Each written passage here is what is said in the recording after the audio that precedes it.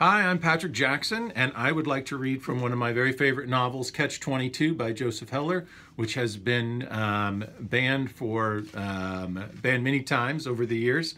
Um, it's a novel about World War II pilots, officers in World War II, and one of its main characters, Yossarian, um, uh, begins the book in a hospital where he's convalescing, um, and um, while he's there, he's being asked to censor the letters of enlisted men who are also at the hospital. So this seemed kind of appropriate for our banned book reading, and I think it offers a, a little bit of satirical commentary on censorship itself.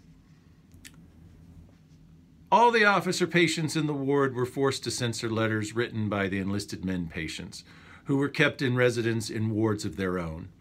It was a monotonous job, and Yossarian was disappointed to learn that the lives of enlisted men were only slightly more interesting than the lives of officers. After the, after the first day, he had no curiosity at all. To break the monotony, he invented games.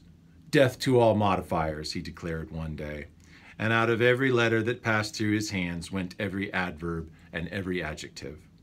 The next day, he made war on articles he reached a much higher plane of creativity the following day when he blacked out everything in the letters but a, an, and the. That erected more dynamic interlinear tensions, he felt, and in just about every case left a message far more universal. Soon he was prescribing parts of salutations and signatures and leaving the text untouched. One time he blacked out all but the salutation, Dear Mary, from a letter, and at the bottom he wrote, I yearn for you tragically. A.T. Tappman, chaplain, U.S. Army. A.T. Tappman was the group chaplain's name.